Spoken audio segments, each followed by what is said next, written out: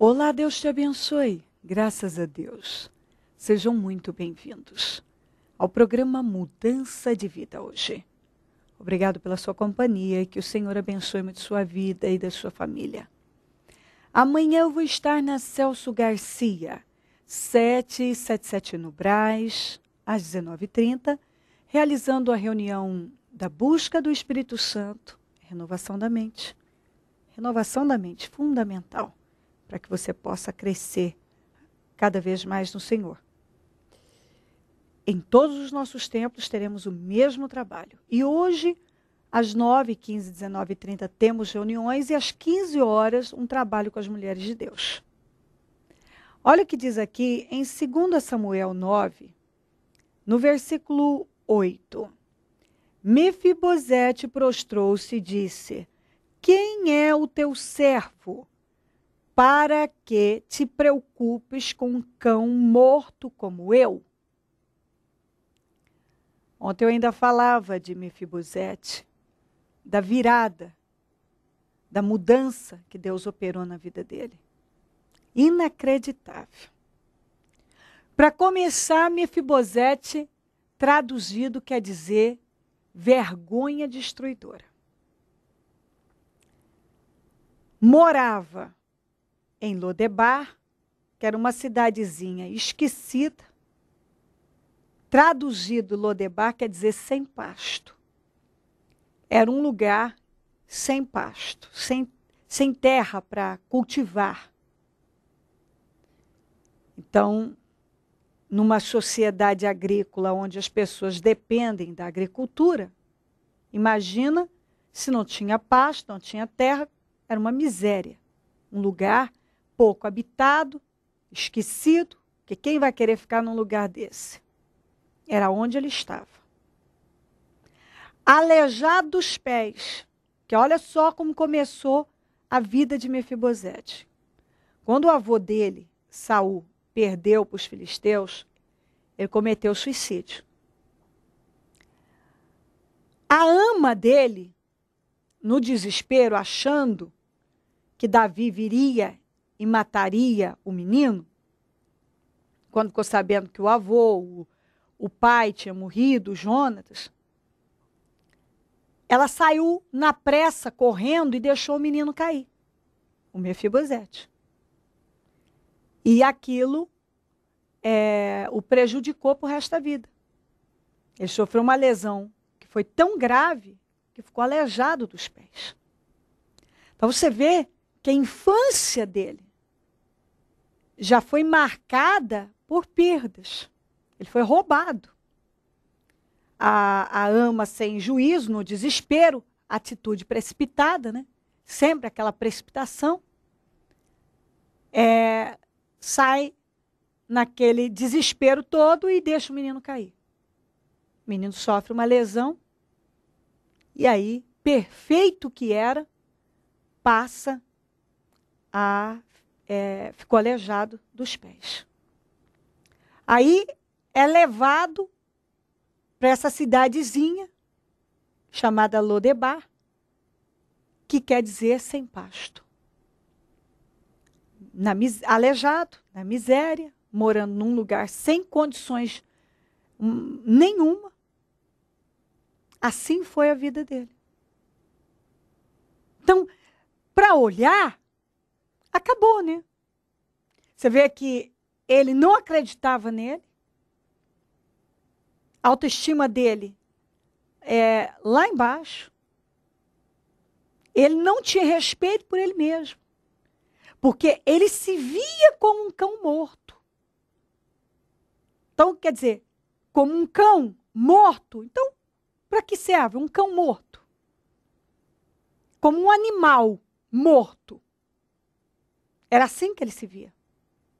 Como ninguém, como alguém sem valor, sem sentido, né? Que não servia para nada. Era assim que ele se via. Como um cão morto.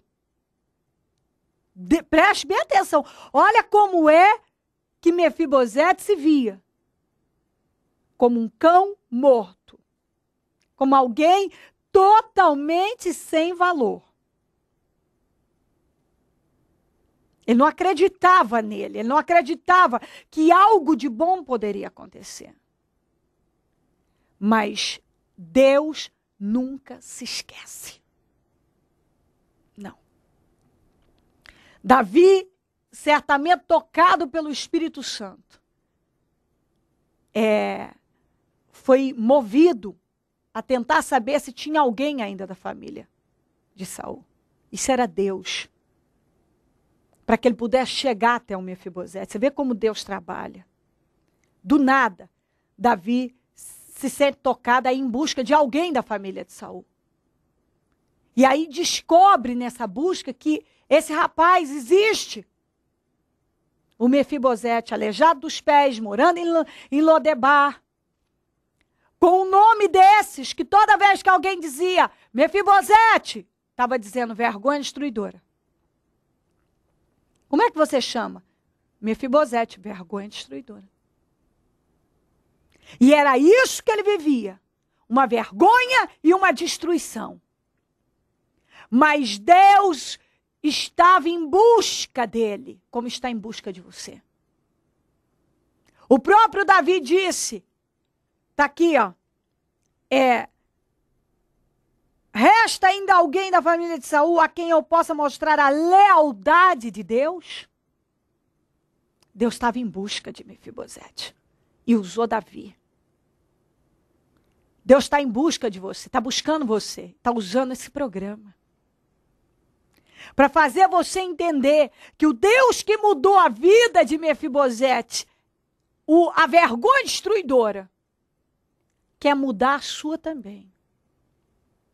Se você ler o capítulo 9, do 1 ao 13, você vai ver que as terras de Saul foram restituídas para Mefibosete. Então, o sujeito que estava na cidade sem pasto, agora é possuidor, passa, passou a possuir terras. E as melhores, porque Saul tinha sido rei e possuía terras, as melhores passou a ter 36 funcionários, porque Ziba, com os seus servos e filhos, passaram a trabalhar para ele. Passou a comer diariamente da mesa do rei, da comida do rei. Então, para quem passou a vida inteira comendo o pior, agora passou a comer da comida do rei. Deus mudou a vida dele. E Deus quer convencer você ele quer que você creia que da mesma maneira que ele mudou a vida de Mefibosete, ele vai, ele pode, ele tem poder, ele vai mudar a sua. Era impossível a mudança da vida de Mefibosete, mas Deus mudou a vida dele. E o mesmo Deus que mudou a vida de Mefibosete, o mesmo Deus que mostrou que nunca se esquece, não se esqueceu dele, não se esqueceu de você. Deus nunca se esquece. Deus mudou a vida dele, está garantindo que vai mudar a sua ainda que para você não tenha saída, não tenha jeito, não tem o que fazer, é o fim da linha. O Senhor está dizendo: eu mudei a vida dele, vou mudar a sua de vergonha destruidora para honra e glória. O Senhor honrou aquele homem. De morador da cidade sem pasto, agora passou a ter muito pasto, muitas terras. Do sujeito largado, abandonado, agora tinha 36 pessoas trabalhando para ele. Do sujeito que comia, sabe-se lá o quê, agora passou a comer do melhor que havia, da comida da mesa do rei Davi. Tratado como um filho. Deus não se esquece, Deus é leal. O próprio Davi disse para mostrar a lealdade de Deus. Quando uma pessoa teme a Deus, Deus muda, Deus vira o cativeiro dela. Ainda que você esteja aí numa situação sem saída, o Senhor está dizendo: creia, porque eu posso fazer. Levanta o teu espírito, porque eu posso fazer. Levanta. Talvez você já está entregue, totalmente desacreditado, desacreditada. Mas essa palavra está vindo nesse dia, entrando aí na tua casa. Você está ouvindo Deus falar com você. Eu mudei a vida de Mefibosete, vou mudar a sua. A vida dele era só vergonha e destruição.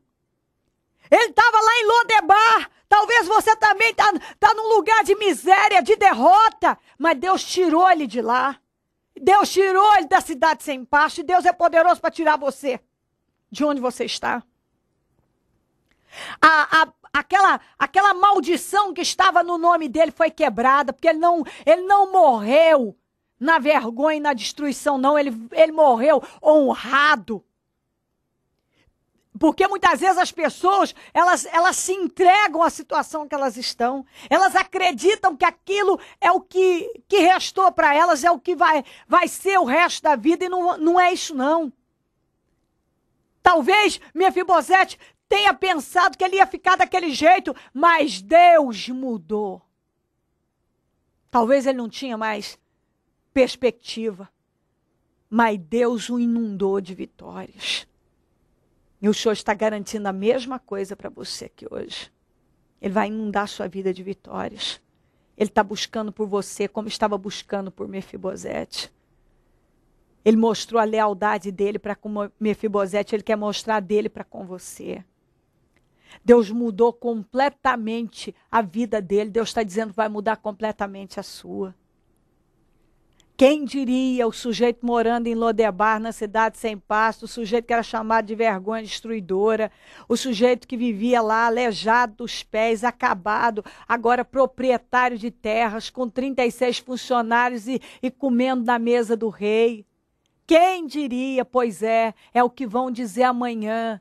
Quem te viu, quem te vê, hein?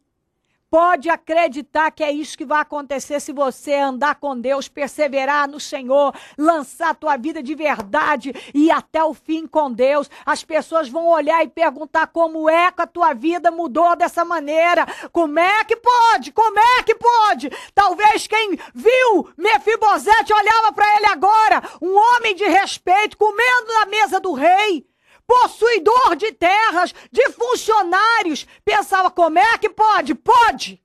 Quando Deus age, ninguém pode impedir. E Deus quer agir na tua vida. Deus quer agir na tua vida. Deus quer. Deus está falando que Ele não se esqueceu de você, que Ele nunca se esquece e que Ele quer sim mudar a tua vida. Ele quer o Mefibosete se via como um cão morto. Como um cão morto. Ele não tinha mais esperança, você vê. Mas Deus mudou aquilo. E a palavra é para você. Deus está dizendo: Eu vou mudar. Eu estou buscando por você como eu estava por Mefibosete. Eu queria virar o cativeiro dele, eu quero virar o seu. Deus mudou a vida dele, vai mudar a sua. É só buscar o Senhor. Não é o fim, não. Não foi o fim para ele, não vai ser para você. Deus vai mudar essa situação. Acredita no que o Espírito Santo está falando. Faça a tua parte, que Deus vai fazer a dele. Deixa o passo de fé, porque Deus vai virar a tua vida. Deus vai. Você vai viver coisas que você nunca imaginou. Nunca imaginou. Acredita no que eu estou te dizendo, pelo Espírito Santo. Se você vir buscar o Senhor, você vai ver, você vai encerrar esse ano vivendo situações que você nunca imaginou viver na sua vida. Hum? É buscando a Deus. Ele vai fazer. Se crer e desejar, prepare um copo com água. Eu volto já para nós orarmos. Dona Maria, como é que era a vida da senhora quando a senhora chegou aqui no Ministério Mudança de Vida? A minha vida era um fracasso total, bispo. Eu cheguei depressiva, cheguei com caroços pelo corpo e endividada na época eu não ganhava o suficiente, estava com a dívida de quase 3 mil reais. E. A senhora me dizia que chegou a passar fome. Passei fome. Junto com as filhas? Junto com as minhas filhas. Cheguei a é, pegar lixo na rua, porque minhas filhas pediam um pãozinho que era 5 centavos, eu não tinha para dar. Então eu comecei a catar papelão na rua, pão que eu achava, fruta que eu achava. Pegava comida na rua? Pegava. Cheguei a esse ponto. De pegar comida na rua? É, para alimentar minhas filhas, para não ver passar fome. E E eu cheguei num ponto assim que eu estava dentro de uma denominação, mas a minha vida não mudava. Fazia 10 anos que a senhora estava dentro de uma igreja, mas a senhora estava com depressão, caroças aparecendo pelo, cor pelo corpo, é, doença para tudo que é lado. Isso. Miséria, humilhação a ponto da senhora pegar lixo e comida na rua para levar para casa? Isso. Tudo isso Estando dentro de uma igreja. dentro de uma igreja. E aquilo acontecia e eu não sabia o como, porquê. E foi indo, foi indo. Pelo uma. Eu assisti no programa da Bispa, um dia eu falei, não, eu vou nessa igreja, a minha vida tem que mudar lá. Chorando, sabe assim, depressão, eu chorava muito, muito, muito, mas. Tinha vontade de morrer? Não, eu tinha vontade de sumir. Sumir, largar minhas filhas e sumir. Sumir no mundo. Sumir. Não sei para onde, mas eu tinha vontade de sumir. Era o meu desejo. E um dia eu chorando muito, eu assisti um programa da Bispa e, e ela ia fazer uma visita aqui em Prudente. Eu falei, é lá que eu vou. É lá que está a minha solução. E eu vim. Já entrei na igreja chorando. E nesse dia ela me abraçou, eu chorando, e ela disse que Deus era comigo. E a partir daquele momento ali, eu fui buscando. A senhora nunca mais parou de vir aqui. Não, nu- nunca mais parei de vir. E buscando, fazendo. Passei a fazer minhas ofertas, meu dízimo, aprendi a dizimar, ofertar. E hoje eu posso falar assim para o Senhor: a minha vida 100% Transformada. transformada. Eu, como o senhor mesmo fez uma visita para mim, eu morava em três cômodos. Hoje eu já moro numa casa bem maior, uma casa que fica bem próximo da igreja, que antes eu andava, vamos supor, três, quatro quilômetros para mim chegar na igreja.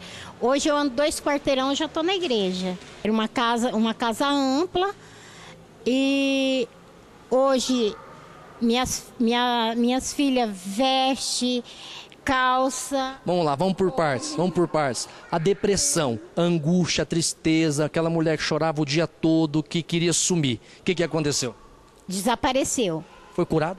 Fui. Os caroços de- desapareceram o primeiro dia que eu entrei dentro da igreja, Na reunião com a bispa aqui. na reunião com a bispa. Todos os caroços que a senhora tinha, a senhora tinha no corpo sumiram. Eu tinha atrás da orelha, eu tinha no pé, que era caroços assim que aparecia que eu não sabia de onde vinha. E desapareceu na reunião que ela fez. E a depressão? Sumiu, não tem depressão. É tanto que esses dias eu estava comentando com uma conhecida minha, que ela disse que toma remédio para antidepressivo, para insônia, para angústia. Eu falei, eu não tomo nada disso. Eu não tomo remédio nenhum. Hoje a senhora é feliz? Muito feliz. Essa alegria não tinha antes. Não. É tanto que as pessoas que me conheciam antes falaram assim: de onde vem tanta alegria? Eu falei: é Jesus. Jesus é a minha alegria. Pagou as dívidas, Paguei as dívidas, limpei o nome, hoje eu compro, hoje eu. Tudo que eu faço eu consigo pagar, é tudo certinho. se veste bem, as filhas se vestem bem, comem do bom e do melhor, moram numa casa confortável. Isso.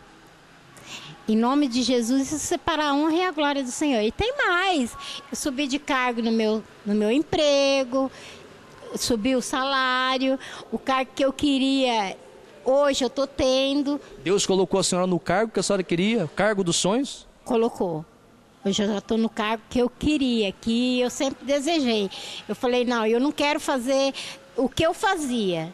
Eu falei, tem que ter, assim, uma pessoa... Quero ser chefe. Eu quero ser chefe, tem uma pessoa para me auxiliar. Hoje eu sou chefe. Hoje o que, o que eu fazia, essa pessoa faz. Aumentou o salário. Aumentei, aumentou o salário. Deixa eu fazer uma pergunta para a senhora. Se a senhora não tivesse assistido naquele dia esse programa, consegue imaginar como estaria a vida da senhora? Olha, eu estaria como a gente vê passando pelas ruas. Essas pessoas que, ou, vamos se dizer assim, um, um mora- A senhora já era quase uma moradora de rua? É, já era quase, né? Porque eu não podia é, ter a casa que hoje Não, porque é muito forte isso que a senhora falou. Se a senhora não tivesse assistido esse programa, a senhora acredita que a senhora era uma moradora de rua? Eu acredito. Eu acredito porque a minha vida estava assim, indo de mal a pior. Então esse programa foi muito importante para a senhora. Foi muito, muito importante para mim. O que, que esse ministério significa para a senhora? Tudo, tudo, porque foi aqui que a minha vida, que eu nasci de novo, vamos se dizer assim. Foi aqui que eu tive um novo nascimento. A senhora pode dizer eu nasci de novo? Posso, eu nasci de novo. Está começando a viver agora? Tô. Eu tô começando a viver agora. É, parece que Olha, eu tô começando do zero. Hoje eu tô com 43 anos. A senhora começou a viver com 43? Isso. E me sinto como se eu tivesse 20, praticamente. De tanta alegria. De tanta alegria. É tudo para mim. Vale a pena essa pessoa que está assistindo agora ir no banco, ser um semeador, ajudar esse programa a salvar, sal, salvar vidas? Vale. Vale muito. Fazer oferta? Vale.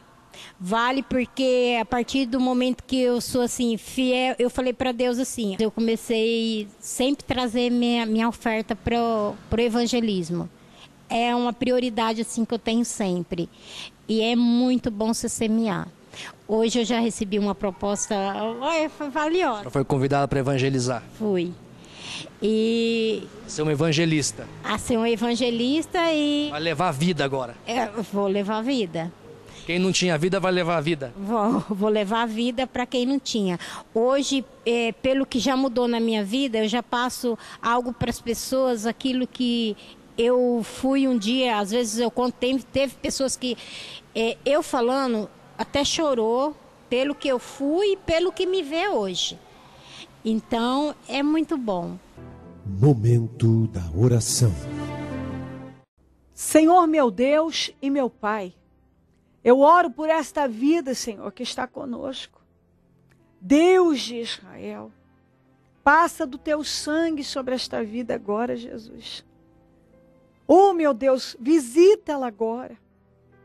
Senhor, que essa desesperança que tomou conta dela, essa entrega, esse espírito derrotado, abatido, que leva ela a se sentir totalmente acabada, com uma vida definida para o mal, possa agora ser arrancado da vida dela, meu Pai.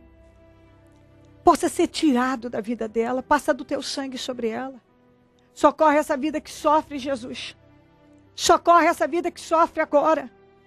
Meu Deus, só o Senhor pode amparar, só o Senhor pode virar o cativeiro de uma pessoa, só o Senhor pode fazer justiça, só o Senhor pode mudar, meu Deus. Se o Senhor não fizer, ninguém pode fazer. Meu Deus, ampara esta vida. Enxuga essas lágrimas. Cura as feridas. Passa bálsamo, meu Pai, nesse coração. Levanta essa vida que se sente acabada no pó. Meu Deus, conforta esse coração que chora, que a amargura tomou conta, o desespero.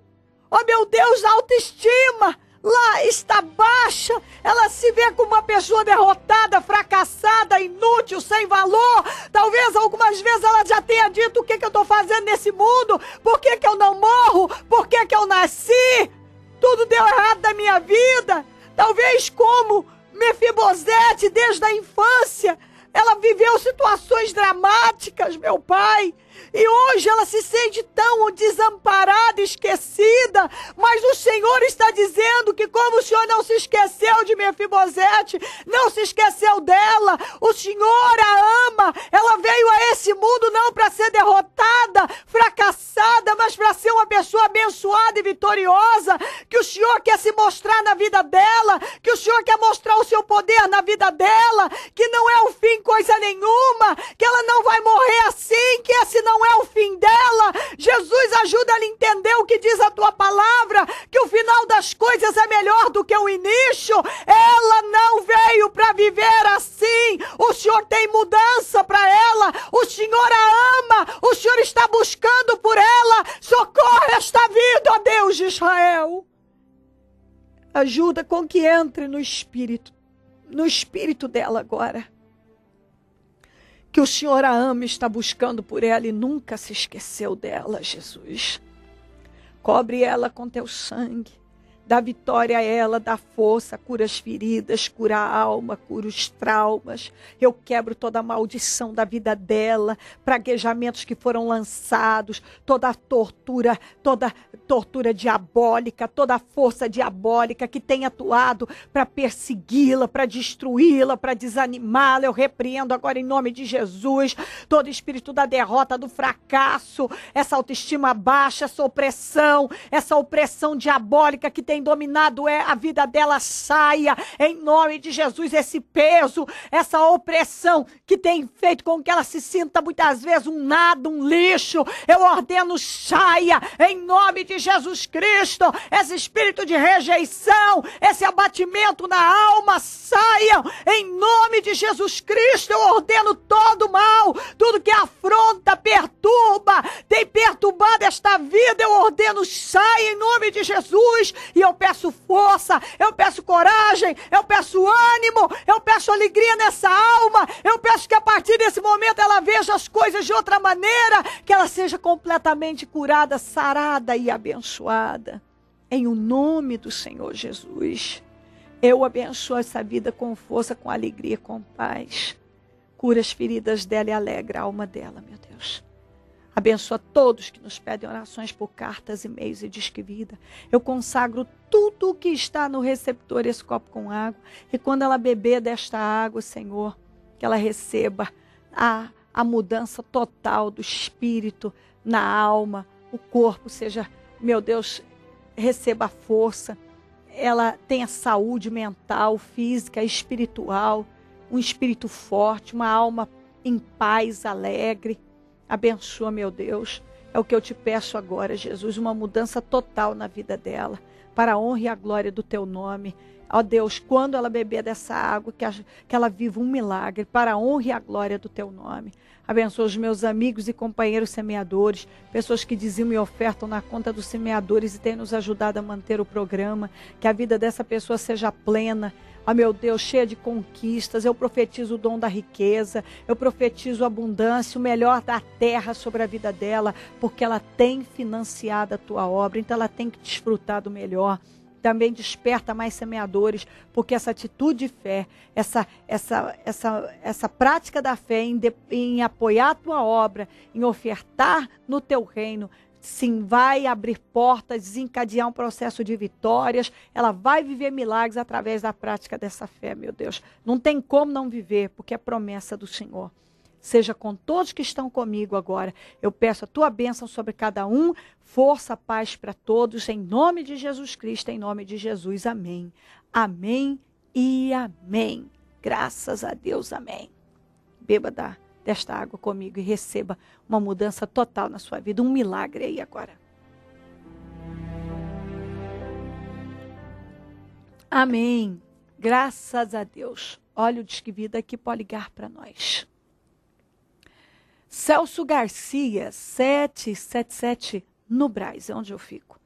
E onde vou estar amanhã, às 19h30, com a reunião da busca do Espírito Santo e renovação da mente. E eu vou esperar por você. Nós estamos aqui todos os dias, né? Reuniões três por dia. Qualquer hora que você vier, nós estamos prontos para te atender, para te ajudar, para te apoiar. Conte conosco. Venha. Jesus está te buscando. Chegou a hora da virada. Acredita nisso. Faz a tua parte que Deus vai fazer a dele. Deus não falha. De jeito nenhum, dê um passo em direção ao Senhor que você vai ver quantos ele vai dar ao seu encontro. Tenha um dia excelente. Se ele não vier, eu vou estar aqui amanhã. Falando de vida e mudança de vida. Amém.